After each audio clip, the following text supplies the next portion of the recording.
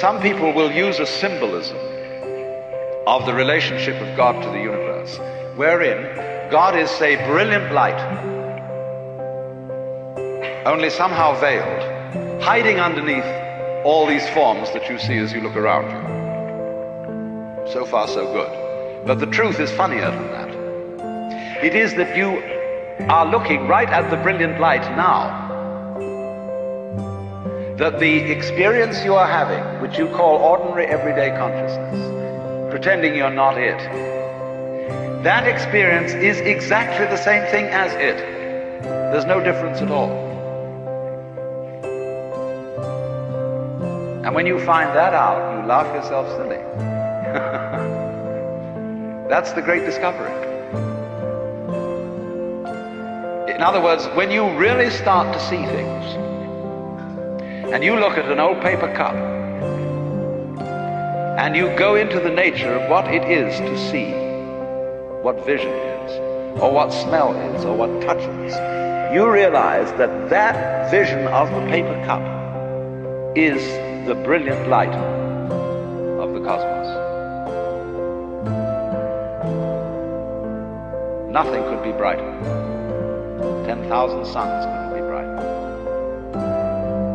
Only they are hidden in the sense that all the points of the infinite light are so tiny when you see them in the cup. They don't blow your eyes out. But it is actually, see, the source of all light is in the eye. If there were no eyes in this world, the sun would not be light. You evoke light out of the universe. In the same way, you, by virtue of having a soft skin, evoke hardness out of wood. Wood is only hard in relation to a soft skin. It's your eardrum that evokes noise out of the air. You, by being this organism, call into being the whole universe of light and color and hardness and heaviness and everything. You see? Well, now here's the problem. If this is the state of affairs, which is so, and if the, the consciousness state you're in at this moment is the same thing as what we might call the divine state, if you do anything to make it different, it shows you don't understand that it's so. So the moment you start practicing yoga, or praying, or meditating, or indulging in some sort of spiritual cultivation,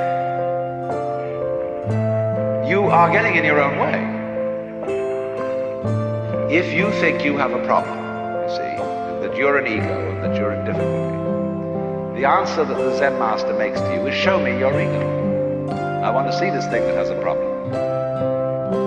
See, because when you look for your own mind, that is to say, your own particularized center of being, which is separate from everything else, you won't be able to find it.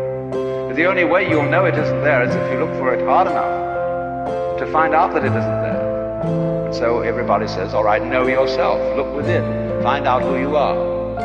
Because the harder you look, you won't be able to find it. And then you'll realize that it isn't there at all. There isn't a separate you. Your mind is what there is. Everything.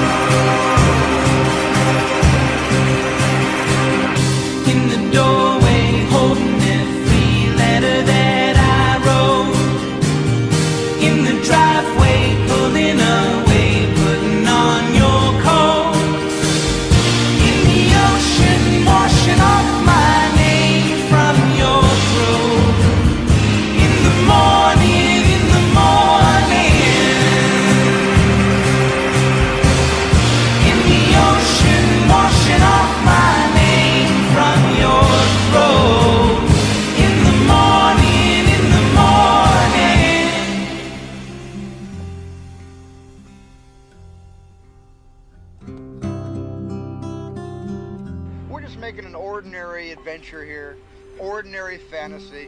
Nothing extraordinary happens in this picture at all. These kids are all kind of like friends. They're all sort of outcasts. They need each other because the uh, more popular kids don't want anything to do with them. And they get bored one day and they have the most extraordinary adventure that any adult could possibly imagine.